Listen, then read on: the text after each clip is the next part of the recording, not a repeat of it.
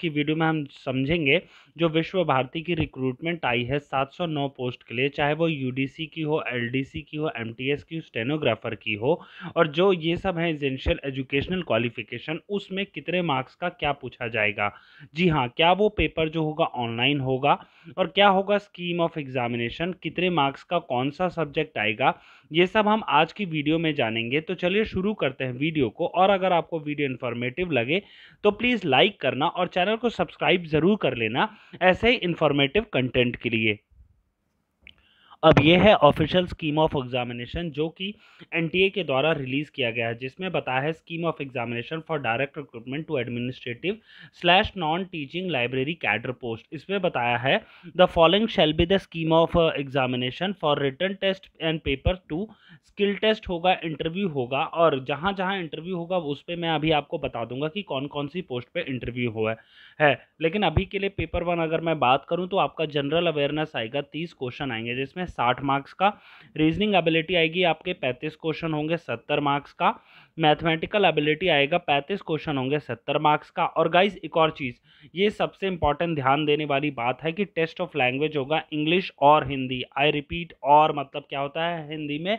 या दोनों में से कोई एक लैंग्वेज का टेस्ट होगा, चाहे आप इंग्लिश चूज़ करें, चाहे आप हिंदी चूज़ करें। तो तीस क्वेश्चन होंगे, जिसमें साठ मार्क्स का होगा और वहीं कंप्यूटर अवेयरनेस होगा आपका, बीस क्वेश्चन होंगे, चालीस मार्क्स का। और ड्यूरेशन कितना होगा आपका? टू आवर्स होगा। तो टोटल नंबर ऑफ़ क्वेश्चन कितने हैं? टोटल नंबर ऑफ़ क्वेश्चन हैं 150 जिसमें से थ्री हंड्रेड मार्क्स का है और टू आवर्स में आपको अटेम्प्ट करना होगा, ठीक है? और उसके बाद पीडब्ल्यूडी कैंडिडेट्स को आपको एक्स्ट्रा टाइम मिलेगा। अगर सिलेबस की बात की जाए, आप अपने स्क्रीन पे देख पा रहे होंगे स्क्रीन पे कि आपका करंट अफेयर्स भी आएगा और बाकी जो आपका art and culture polity and constitution geography economics general polity science and scientific research national and international organisation institution reasoning ability ये सब तो आएगा ही। तो ठीक है, फिर उसके बाद रीजनिंग एबिलिटी की मैं बात करूँ तो आपका वही जो एसएससी का सिलेबस होता है, उसके अकॉर्डिंग आपका रीजनिंग का टेस्ट होगा। और मैथमेटिकल एबिलिटी में, जहाँ तक मैं देख पा रहा हूँ स्क्रीन पे आपका H C F L C M decimal fractions percentage compound interest mensuration time work and distance table and graph etcetera आएगा। और हिंदी और इंग्लिश में आप देख ही पा रहे होंगे अपने स्क्रीन पे। आपका vocabulary grammar sentence structure synonym antonym and its correct usage etcetera would be tested तो अगर अगर मोटा मोटा समझा जाए, आपका एसएससी का सिलेबस भी इसमें आएगा। और अगर आपने जेएनयू नॉन टीचिंग पोस्ट या फिर इग्नू जूनियर असिस्टेंट इन सब का पेपर भरा है तो सेम उन्हीं का सिलेबस है इसमें भी विश्व भारती के पेपर में। कंप्यूटर अवेयरनेस में सेम वही जो basic application of computer components of computer computer hardware and software ये सब चीज़ें आएँगी। नेक्स्ट अगर मैं बात करूँ पेपर टू की, अब पेपर टू जो मैं अभी आपको अपने स्क्रीन पे दिखाऊँगा ना, सिर्फ़ उन्हीं का पेपर टू होगा, बाकी सबका सिर्फ़ पेपर वन होगा। आई रिपीट गाइस बाकी सबका सिर्फ़ पेपर वन होगा।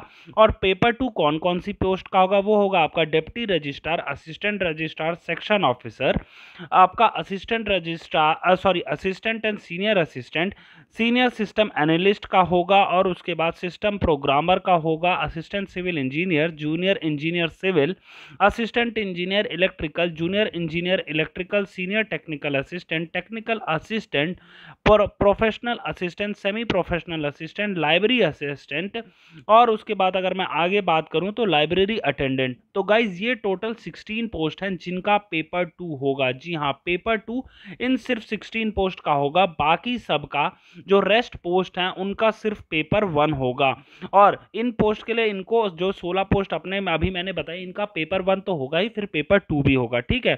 तो इतना आपको समझ आ गया। नेक्स्ट अगर मैं बात करूँ अब स्किल टेस्ट की तो स्किल टेस्ट किन किन का होगा? वो होगा प्राइवेट सेक्रेटरी का, जिसमें आपको डिक्टेशन होगी 120 word per minute in English 50 minutes in English होगी, और ट्रांसक्रिप्शन टाइम पर्सनल असिस्टेंट के लिए आप देख ही रहे होंगे अपने स्क्रीन पे। और स्टेनोग्राफर के लिए जो अभी तक मैं देख पा रहा हूँ इंग्लिश में ही है हिंदी में अभी तक स्किल टेस्ट नहीं है। फिर स्टेनोग्राफर इन इंग्लिश है और यूडीसी आपका अगर बात की जाए और एलडीसी की इंग्लिश में टाइपिंग है। जी हाँ गाइज़ जो एनटीए विश्व भारती रिक्रूटमेंट है, इसमें आपकी टाइपिंग सिर्फ़ इंग्लिश है। हिंदी की कोई टाइपिंग नहीं होनी है, सिर्फ़ इंग्लिश की ही टाइपिंग आपको करनी है, वो भी है पैंतीस वर्ड पर मिनट और इसमें मिस्टेक्स कितनी अलाउड है?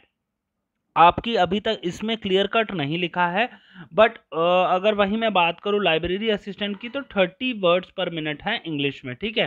तो ये बात होगी नेक्स्ट है आपका प्रैक्टिकल और ट्रेड टेस्ट प्रैक्टिकल और ट्रेड टेस्ट आपका senior technical assistant technical assistant laboratory assistant laboratory attendant इन सब का आपका ट्रेड टेस्ट होगा, और बाकी का जो ऊपर की चार हैं, इस वाले कॉलम में आपका प्रैक्टिकल होगा। तो गाइज़ ये बात हो गई क्लियर। फिर उसके बाद अगर मैं बात करूँ इंटरव्यू की, इंटरव्यू सिर्फ़ आपका ग्रुप ए की पोस्ट। जी हाँ ग्रुप ए की पोस्ट का ही सिर्फ़ इंटरव्यू होगा, बाकी सबका इंटरव्यू नहीं होगा। तो समझ आ गया आपको? पेपर वन सबका होगा, पेपर टू जो सोलह पोस्ट मैंने अभी आपसे डिस्कस की हैं, सिर्फ़ उन्हीं का होगा और ट्रेड टेस्ट जो मैंने आपसे डिस्कस किया, इन चार या पाँच पोस्ट का ट्रेड टेस्ट होगा, ठीक है? फिर उसके बाद आपका ये सब जो आप अपनी स्क्रीन पे देख रहे हैं कि आपका the question paper will be bilingual English और हिंदी एक्सेप्ट पार्ट फोर मतलब जो लैंग्वेज टेस्ट होगा, अगर आपने इंग्लिश चूज़ किया होगा तो इंग्लिश में होगा, हिंदी होगा, अगर आपने हिंदी में चूज़ किया होगा तो ठीक है?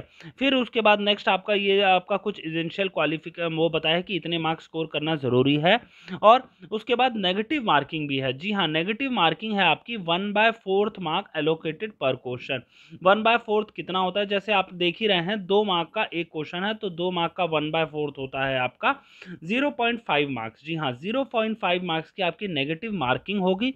फिर अब अगर और मैं और कुछ आपसे डिस्कस करूँ कि क्या है ये देखिए, जिन लोगों का आपका पर्सनालिटी या फिर इंटरव्यू है, उनके लिए सत्तर परसेंट तो पेपर वन से उनको स्कोर करना होगा और पेपर टू से आपका उनको पेपर टू सॉरी नहीं इंटरव्यू से उनको थर्टी परसेंट मार्क्स की वेटेज होगी, ठीक है? तो ये आपसे मैंने डिस्कस कर लिया स्कीम ऑफ़ एग्जामिनेशन जो कि आपका विश्व भारती यूनिवर्सिटी में जो वैकेंसीज आई है, उसके लिए था। तो गाइज़ अगर आपको ये वीडियो इन्फॉर्मेटिव लगा हो या आप चाहते हैं कि ऐसा ही कंटेंट मैं आपके लिए रेगुलर बेसिस पे प्रोड्यूस करूँ तो प्लीज़ इस वीडियो को लाइक करना और सब्सक्राइब ज़रूर कर लेना। और हर बार अपडेट पाने के लिए मेरे चैनल के थ्रू